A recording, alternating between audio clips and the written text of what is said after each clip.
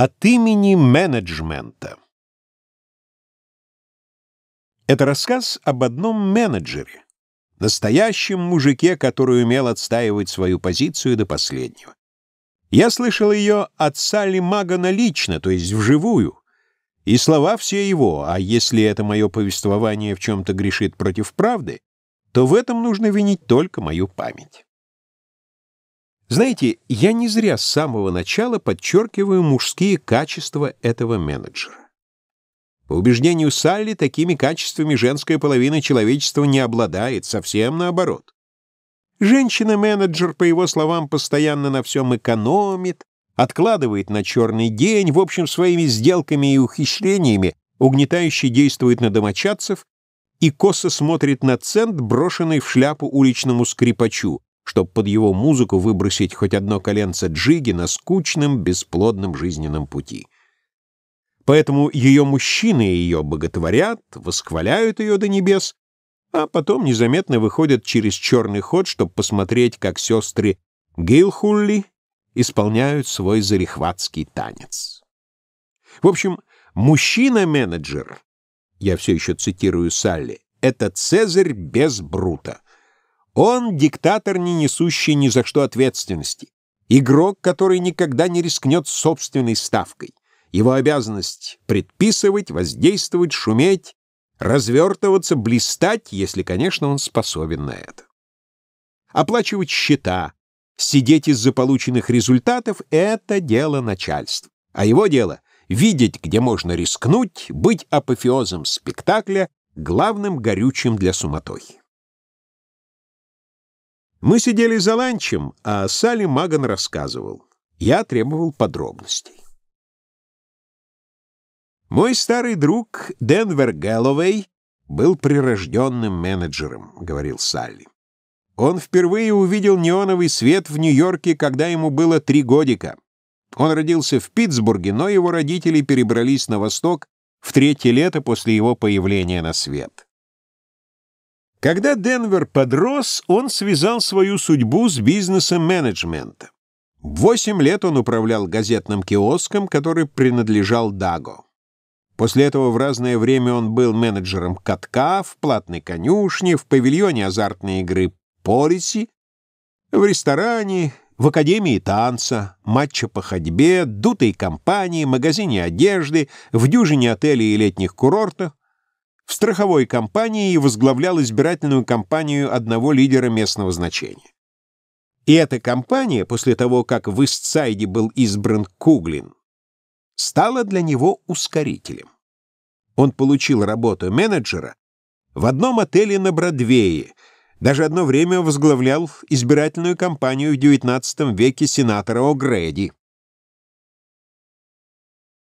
Денвер был законченный нью-йоркец. Думаю, что он выезжал из города всего пару раз до того времени, о котором я хочу рассказать.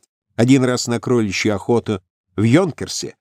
Во второй раз я встретил его в тот момент, когда он сходил с парома на Норт-Ривер. Вот побывал на Западе, совершил большое путешествие, Салли, старина, — сказал он мне. Боже правый, Салли, я и понятия не имел, что у нас такая большая страна. Она небольшая, просто огромная. Никогда не думал, какой у нас великолепный Запад. Блистательный, славный, безграничный. По сравнению с ним Восток такой маленький, такой тесный. Великое дело попутешествовать по стране, чтобы получить представление о том, какая она большая и сколько у нее природных ресурсов. Я и сам немного попутешествовал, выезжал в Калифорнию, добрался до Мексики и проехал через всю Аляску, поэтому с удовольствием сел с Денвером, чтобы послушать его рассказ о том, что он видел. «Ты, конечно, побывал в Йозмайте, не так ли?» «Ну, не думаю», — ответил Денвер. «Во всяком случае, не помню. Видишь ли, у меня всего было три дня, и я не добрался на западе дальше Янгстауна, штат Огайо. Два года назад я приехал в Нью-Йорк, прочитав на липучке для мух предложение о слюдяной шахте в Теннесси, как превратить тусклую слюду в красивое залитое солнцем окно и на этом неплохо заработать. Я выходил из типографии однажды после полудня с пачкой красивых липких проспектов, когда столкнулся на улице с Денвером, выходящим из-за угла. Никогда я еще не видел его таким, но просто благоухающий цветочек. Он был красив, как новая подставка для вьющегося сладкого горошка, и такой же разухабистый, как соло, исполняемое на кларнете. Мы обменялись рукопожатиями, он спросил, чем я занимаюсь, я в общих чертах рассказал ему о том, какой переворот намерен совершить в области добычи слюды. «К черту! К черту твою слюду!» — презрительно сказал Денвер.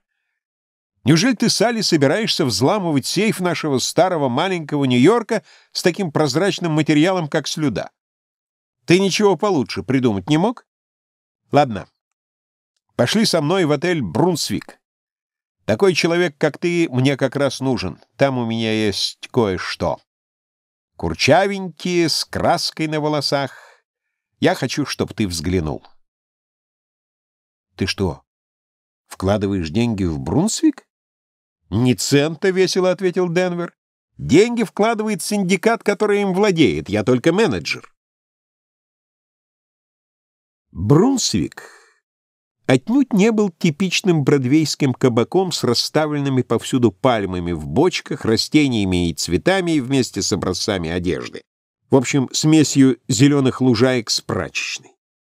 Он находился на одной авеню Истсайда и был солидным старинным караван-сараем, то есть большой гостиницей, в которой могли позволить себе останавливаться такие люди, как мэр Скеннителса или даже губернатор штата Миссури. Восемь этажей ввысь с полосатыми навесами и столькими электролампочками, что ночью становилось светло, как днем. «Я уже год как менеджер здесь», — продолжал Денвер, когда мы подходили к отелю. «Когда я начинал здесь работать, ничто и никто не желали там останавливаться, в этом Брунсвике. Неделями никто не заводил часы на конторке администратора. Однажды прямо перед ним упал человек из-за сердечного приступа и пока они, наконец, подошли к нему, то тот, очухавшись, уже был от них на расстоянии двух кварталов.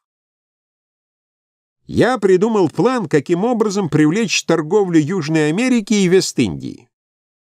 Я убедил владельцев вложить еще несколько тысяч долларов и потратил весь этот капитал до последнего цента на приобретение электрических лампочек, перца из каены, золотой фольги и чеснока. Я нанял испаноговорящих служащих и струнный оркестр, пустил слушок о том, что скоро каждое воскресенье в подвале отеля будут проходить петушиные бои, а то я не знаю, чем привлечь всю эту коричневую, как орех, банду. Теперь все доны-сеньоры от Гаваны до Патагонии знают о существовании Брунсвика. Когда мы подошли к отелю, Денвер остановил меня у входа. Там внутри, — сказал он, — в небольшом кожаном кресле справа сидит красновато-коричневый цветной. Ты тоже там где-нибудь сядь и понаблюдай за ним несколько минут. После скажешь, что ты о нем думаешь. Я сел на свободный стул, а Денвер в это время циркулировал по большой ротонде. В холле в самом деле было полно курчавых кубинцев и других латиноамериканцев всех мастей, а атмосфера была поистине интернациональной, пропитана сигаретным дымом, запахом чеснока и освещаемая вспышками бриллиантовых колец. Да, на этого Денвера Гэллоуэя было любо-дорого посмотреть. Высокий, шесть футов два дюйма, рыжеголовый, розовощекий и загорелый. А какой у него был важный вид! Придворный Сент-Джеймского двора Чонси Олкот, полковник из штата Кентукки, граф Монте-Кристо, солисты Гранд-Опера, все они напоминали его, когда он кого-нибудь приветствовал или отдавал распоряжение. Стоило ему лишь поднять палец, как все посыльные разбегались от страха по сторонам, как тараканы. И даже клерк, сидевший за конторкой, казался таким робким и смущенным, как Энди Карнеги. Денвер обходил по кругу всех гостей, пожимая каждому руку, и произносил при этом с таким величием два-три известных ему испанских слова, словно он находился на генеральной репетиции Брайанского празднества барбекю в Техасе. Я внимательно следил за этим маленьким человечком, о котором он мне говорил. Это был маленький иностранец в двубортном сюртуке, который не мог даже дотянуться носками до пола. Этот малый был цветной, а его усы были похожи на мягкую стружку красного дерева. Он дышал с трудом и не отрывал взгляда от Денвера. На лице у него было написано такое восхищение, такое уважение, как у мальчика, который воочию видит перед собой чемпиона по бейсболу, или как у кайзера Вильгельма, когда тот любуется собой, глядя в зеркало. После того, как Денвер завершил свой обычный обход, он повел меня в свой кабинет. «Ну, что скажешь по поводу этого заморыша, понаблюдать за которым я тебя попросил?» «Ну, — начал я, — он принимает тебя за великого человека, у которого девять комнат вместе с ванной в чертоге славы, освобождение от уплаты ренты до 1 октября. Вот примерно каков твой масштаб в его глазах. «Да, ты верно ухватил мою идею», — сказал Денвер. «Он увидел во мне кудесник, проникся моим мистическим взглядом. Очарование, которое излучает ваш покорный слуга, обволакивает его, словно туман с Норт-Ривер. Кажется, он понял, что сеньор Гэллоуэй — это тот человек, который ему нужен. «А теперь, Салли, — продолжал Денвер, — если я спрошу тебя, как ты думаешь, кто этот маленький человечек, что ты мне скажешь?» «Ну, предположим, парикмахер. А если он королевских кровей, то король сапожной ваксы. «Никогда не суди по внешнему виду», — сказал Денвер. «Он темная лошадка на президентских выборах в одной из южноамериканских республик». «Тогда», — сказал я, — «он не так плохо выглядит в моих глазах». Денвер пододвинул ко мне поближе свой стул, поделился своим замыслом. «Салли», — серьезно начал он с присущим ему легкомыслием, я был менеджером и того, и другого, и третьего более 20 лет. Я всегда стремился заставить кого-нибудь вложить свои деньги в бизнес, а я буду следить за ремонтом, за налогами, приглядывать за полицией. Я в жизни никогда не вложил ни одного своего доллара. Я не знаю, что такое зуд дилера, когда держу в руке собственную монету. Но я могу заниматься делами других, управлять чужими предприятиями у меня всегда была тщеславная мечта — заполучить в руки нечто большее, чем отель или лесной склад или местная политика. Я всегда хотел стать менеджером чего-то гораздо более высокого, скажем, железной дороги, треста драгоценных камней или автомобильной фабрики. И вот теперь появляется этот сморчок из тропиков и предлагает мне такую работу, предлагает то, что я хотел. «Какую же работу?» — спросил я. «Может, он собирается возродить министрелей в штате Джорджия или открыть сигарную лавку?» «Не такой дурак», — сурово оборвал меня Денвер. «Это генерал Ромпиро, генерал Йоси Альфонсо Саполио Юда Анна Ромпиро, полностью его имя, которое набирает на визитках опытный мастер. Этот человек Салли то, что нужно. Он хочет, чтобы я управлял его компанией. Он хочет, чтобы Денвер К. Гэллоуэй стал президент-мейкером. Да только подумай об этом, Салли. Старина Денвер отправляется в тропики, где одной рукой будет срывать цветы лотоса и собирать ананасы, а другой — лепить президентов. Дядя Марк Ханна сошел бы от такого с ума. И знаешь, Салли, я хочу, чтобы со мной туда поехал и ты. Ты мне там поможешь куда больше, чем любой другой. Я пас этого коричневого как орех малого в отеле целый месяц, чтобы он, не дай Боже, не заблудился на 14-й улице, и чтобы его не связала толпа беженцев, этих любителей толченой кукурузы с мясом и жгучим красным перцем. И вот он у меня в руках а Денвер К. Гэллоуэй становится менеджером генерала ИАСЮА Ромпиро. менеджером президентской компании Великой Республике, как, черт подери, она называется. Денвер взял с полки «Атлас», и мы вместе стали искать эту несчастную страну. Вот она, помечена темно-синей краской на западном побережье, размером с почтовую марку для особых отправлений. Из того, что мне говорил генерал, продолжал Денвер, и судя по тому, что мне удалось раскопать в энциклопедиях и выявить в беседе с швейцаром Асторской библиотеки, то будет нетрудно осуществить голосование в этой стране. А почему генерал Ромпиро сам не остался дома, поинтересовался я. Почему он сам не стал менеджером своего предприятия? «Ты, Салли, к сожалению, не знаешь, что такое латиноамериканская политика», сказал Денвер, доставая для нас по сигаре. Генерал Ромпиру имел несчастье стать популярным идолом. Он отличился тем, что со своей армией удачно преследовал двух матросов, которые украли Аллазу, ах, карамба или что-то такое, что принадлежало правительству. Народ назвал его своим героем, но это вызвало ревность со стороны правительства. Президент послал за главой департамента общественных зданий, ну-ка найди мне хорошую, чистую, приятную стену, приказал он ему, и поставь к ней сеньора Ромпиро. Потом вызовем расстрельный взвод.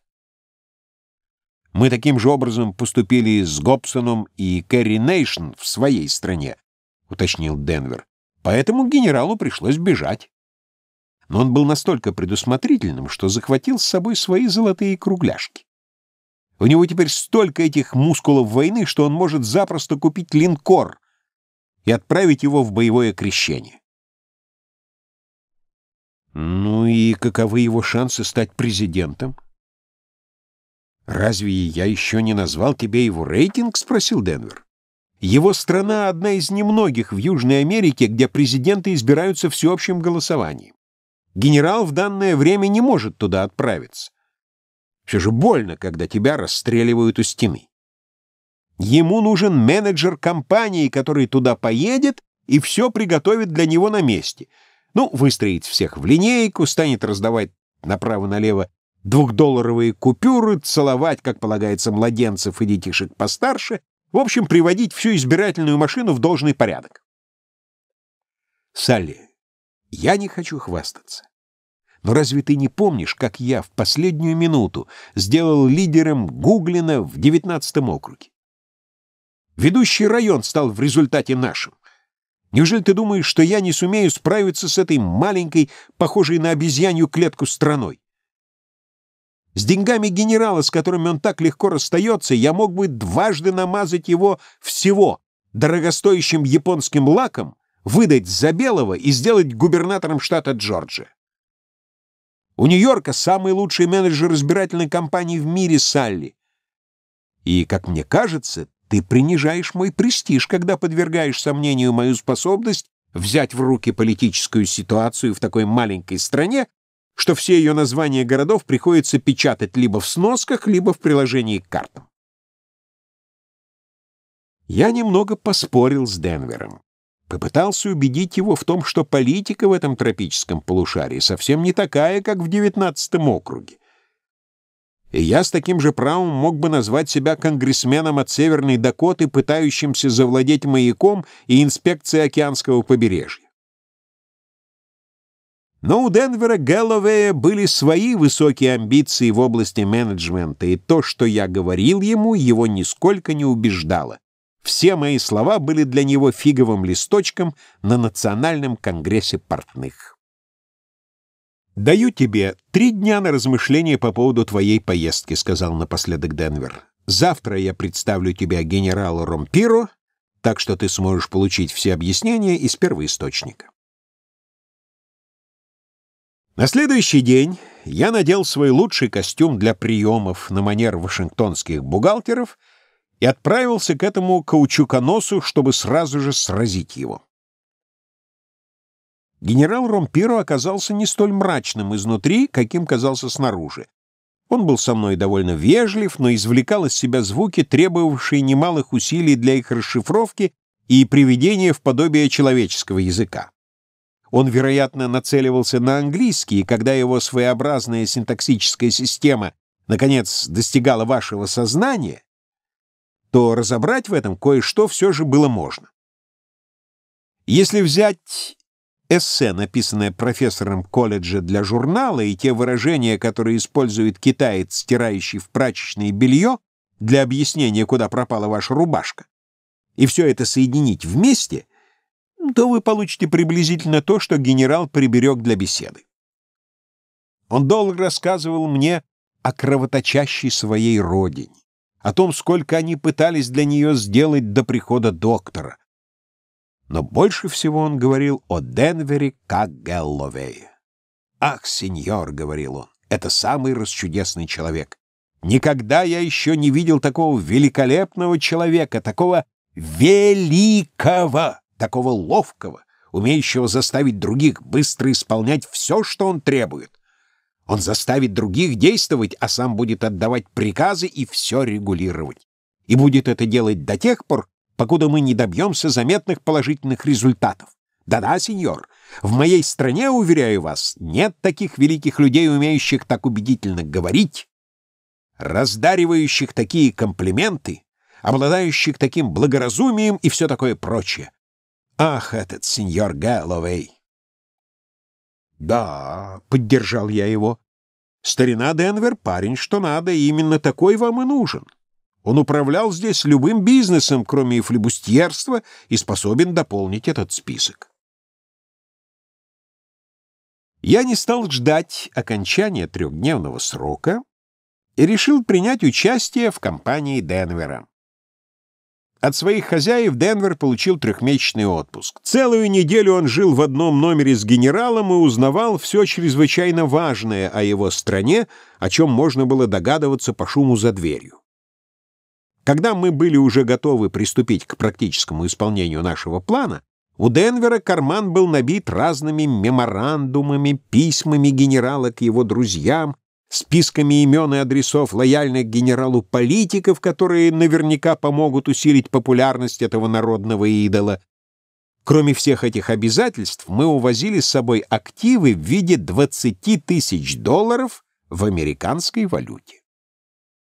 Генерал Ромпиро был похож на обуглившееся изваяние, но он становился хитрым лисом, когда дело доходило до реальной научной политики. Вот «Деньги», — сказал генерал. «Правда, немного. У меня есть больше, значительно больше. Вы получите очень много денег, сеньор Гэллоуэй. Я пришлю их вам, когда они потребуются. Я готов выложить пятьдесят, даже сто тысяч песо, если потребуется, чтобы только быть избранным. Почему бы нет? Черт подери, если я, став президентом, не смогу сделать себе миллиона долларов, то можете сейчас же пнуть меня в бок. Видит Бог. Денвер с помощью кубинской машинки для изготовления сигар составил кодовый шифр из английских и испанских слов и отдал генералу копию. Таким образом, мы сможем посылать ему секретные донесения о предстоящих выборах. А он нам высылать больше денег. Ну, теперь все было готово, можно было приступать. Генерал Ромпиро лично проводил нас до парохода. На пристани он крепко обнял за талию Денвера и прослезился. «Благородные вы люди», — говорил он. «Генерал Ромпир доверяет вам, а вы доверяете ему. Поезжайте своими святыми руками, выполните эту работу для вашего друга.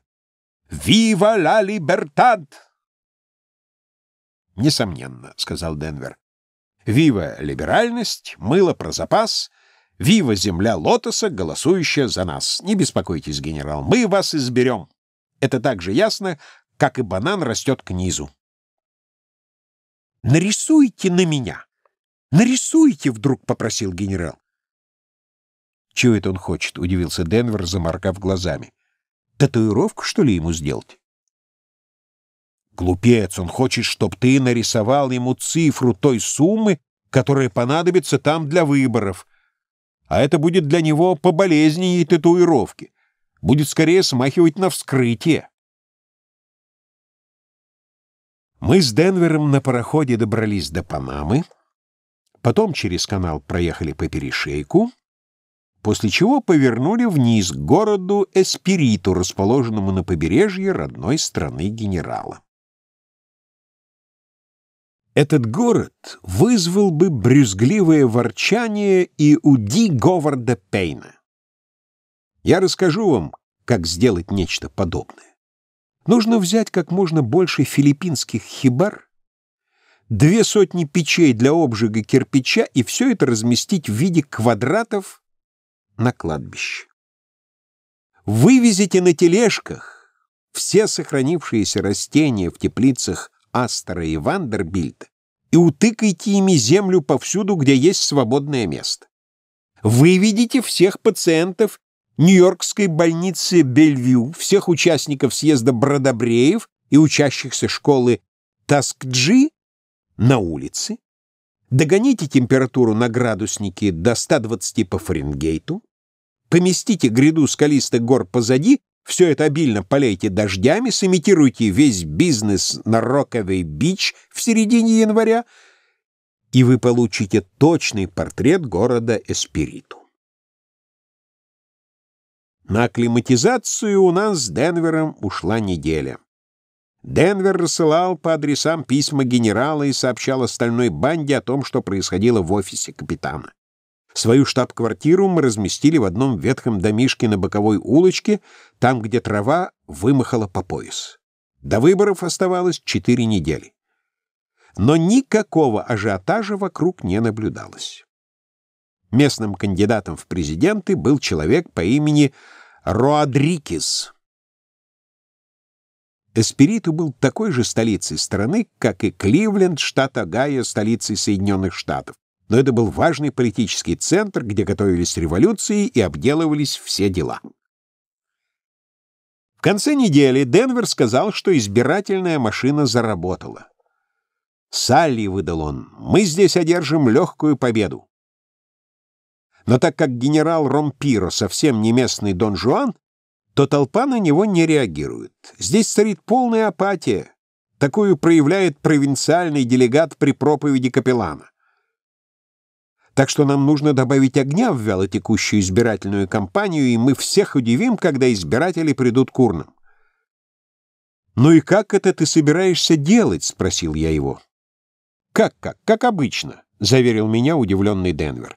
Мы перетаскиваем всех ораторов на свою сторону, и они каждый вечер произносят пламенные речи на родном наречии, а мы под тенью пальм устраиваем шумные парады, раздаем бесплатную выпивку, скупаем, само собой, все духовые оркестры, но поцелуями детишек придется заняться тебе, Салли. Их тут, должен сказать, хоть пруд пруди. Ну а еще что, поинтересовался я. «Как что?» — переспросил Денвер. Мы привлечем всех местных целителей, пообещав им пару глотков виски, будем раздавать наряды на уголь, бесплатные заказы в бакалейных лавках, организуем пару пикников под банановыми деревьями, танцы в пожарной команде, ну и все такое прочее. Но прежде всего, Салли, я намерен устроить грандиозный пикник на морском берегу, такой, которого еще никогда не было к югу от тропика Козерога. Я все обмозговал с самого начала. Мы набьем животы всех жителей города и туземцев из джунглей моллюсками с нескольких километров пляжа. Это первое в моей программе. Может, пойдешь и сейчас же приступишь к организации этого великого события, а? А я тем временем взгляну на подсчеты генерала в отношении голосов, которые он намерен получить в прибрежных районах. В Мексике я немного выучил испанский и отправился, как сказал мне Денвер. Но минут через пятнадцать я вернулся в штаб-квартиру. Может, в этой стране и есть съедобный морской моллюск, но его здесь никто не видел, — сказал я. «Это что еще за новость?» — воскликнул Денвер, широко открыв от удивления рот и вытаращив на меня глаза. «Как это так нет моллюсков?» Где вы видели в мире страну, в которой нет съедобных моллюсков? Что за выборы? Да и как их проводить, если не устроить пикника на морском берегу с печеными моллюсками? Хотелось бы мне знать, Салли, ты уверен, что их нет? Их нет даже в банках, ответил я. Тогда ради бога скорее отправляйся туда и выясни, что же здесь ест народ. Надо же набить их желудки какой-то жратвой. Я снова вышел, через час я вернулся. «Вот что они едят», — сказал я и начал перечислять. «Черепах, маниоку, козлятину, курицу с рисом, авокадо, юку, печеные яйца. Если они жрут все это, то не так просто будет заполучить их голоса. Через несколько дней в Эспириту стали прибывать менеджеры по проведению избирательной кампании из других городов. Наша штаб-квартира превратилась в гудящий улей. У нас был свой переводчик, вода со льдом, выпивка, сигары. А Денвер так часто обращался к золотым кругляшкам генерала, что их запас истощился до такой степени, что на него теперь можно было бы купить всего один голос в штате Огайо. Тогда Денвер отбил телеграмму генералу Ромпиро с требованием немедленно выслать 10 тысяч. И вскоре их получил. В Аспириту было несколько американцев. Но все они занимались бизнесом или принимали участие в каких-то проектах, и поэтому в политику не вмешивались, что было весьма благоразумно с их стороны. Но они устраивали для нас с Денвером приятное времяпрепровождение и всегда заботились о том, чтобы у нас была приличная еда и отличная выпивка. Среди них был один по имени Хикс, который обычно приходил к нам и слонялся без дела в штаб-квартире. Роста в нем было 6 футов и 4 дюйма, а весил он 135 фунтов. Он любил какао, но местная лихорадка и плохой климат выжили из него все соки. Говорят, он не улыбался вот уже 8 лет. Лицо у него было вытянутое, не менее трех футов в длину, но всегда было абсолютно неподвижным, за исключением того момента, когда он открывал рот, чтобы проглотить таблетку хинина. Хикс любил сидеть в нашей штаб-квартире, бить блох и выражать свой сарказм. «Меня политика не очень интересует», — однажды сказал он. «Но мне очень хочется, чтобы вы сказали мне, что вы тут пытаетесь сделать, Гэллоуэй». «Мы поддерживаем кандидатуру генерала Рампиро», — ответил Денвер. «Мы намерены посадить его в президентское кресло». «Ну, — продолжал Хикс, — я на вашем месте не очень бы с этим торопился. У вас еще уйма времени, знаете ли». «Не меньше, чем требуется», — отрезал Денвер. Денвер продолжал в том же духе и делал все, чтобы дело шло гладко. Он из-под тишка раздавал деньги своим помощникам, и те гурьбой постоянно ходили за ним.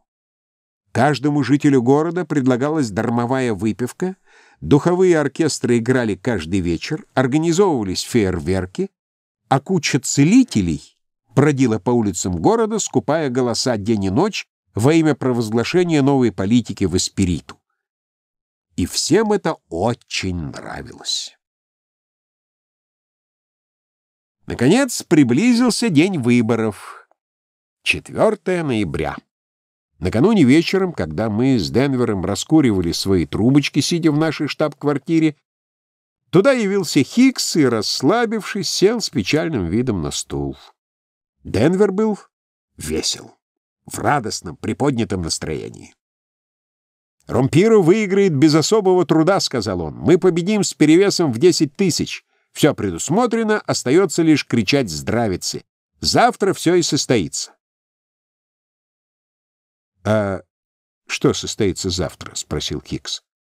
«Как что?» «Президентские выборы, разумеется», — ответил Денвер. «Послушайте», — сказал Хикс с лукавым видом, — «разве никто из этих парней вам не сказал, что выборы прошли за неделю до вашего приезда?» Конгресс своим решением перенес дату на 27 июля. Родригес был избран большинством в 17 тысяч голосов. А я-то думал, что вы ведете пропаганду за избрание Ромпиру на следующий срок, то есть через два года. Просто страшно удивлялся. Для чего поднимать всю возню так рано, можно сказать, заблаговременно? трубка выпала у меня из рук, Денвер откусил черенок своей. Оба мы молчали. И вдруг я услышал звук, словно кто-то отодрал дранку с крыши сарая. Это засмеялся Хикс, засмеялся впервые за последние восемь лет. Салли Маган молчал, когда официант наливал ему в чашку черный кофе. «Да, ваш друг на самом деле был удивительным менеджером». «Не торопитесь», — сказал Салли. «Я еще не сказал вам, что из этого всего вышло. Все еще впереди». Когда мы вернулись в Нью-Йорк, генерал Ромпиро ожидал нас на пристани. Он не стоял на месте, а постоянно пританцовывал, словно медведь светло-коричневой масти, и с нетерпением ожидал желанной вести, потому что Денвер только сообщил ему о нашем приезде и больше ничего. «Ну, меня избрали!» — завопил он. «Меня избрали, друг мой! Потребовала ли моя страна избрать меня президентом? На днях я отправил вам свой последний доллар. Теперь просто необходимо, чтобы меня избрали, чтобы я стал президентом. У меня больше нет денег. Так меня избрали, сеньор Гэллоуэй?» Денвер повернулся ко мне. «Ну-ка, Салли, оставь нас с генералом Ромпиро наедине. Нужно будет как-то помягче сообщить ему об этом. Неприлично, если кто-то еще станет очевидцем этой тягостной сцены. Сейчас наступает такой момент, продолжал Денвер, когда Денверу нужно стать таким милым, сладкоречивым колдуном, в противном случае придется отказаться от всех своих заслуженных медалей. Через пару дней я пришел в отель. Денвер находился на своем обычном месте, и он выглядел героем из двух исторических романов. Всем с удовольствием рассказывал, как он прекрасно провел время на своей апельсиновой плантации во Флориде. «Ну, все обошлось с генералом, не так ли?» — спросил я его. «Ты еще спрашиваешь?» — хладнокровно ответил он. «Пойдем, сам увидишь». Взяв меня под руку, он повел меня к двери ресторана. Там мы увидели небольшого толстенького человечка шоколадного цвета в парадной форме. Лицо у него сияло от радости, когда он, раздуваясь от гордости, ловко скользил по ресторанному паркету с подносом в руках. Провалиться мне на этом месте но Денвер на самом деле сделал генерала Ромпиро главным официантом отеля «Брунсвик». «Ну, а мистер Гэллоуэй все еще в этом бизнесе? По-прежнему занимается менеджментом?» — спросил я, когда Маган закончил свой рассказ. Салли покачал головой. Денвер женился на богатой вдовушке с золотисто-каштановыми волосами — и теперь является владельцем отеля в Гарлеме. Иногда он там помогает своим служащим.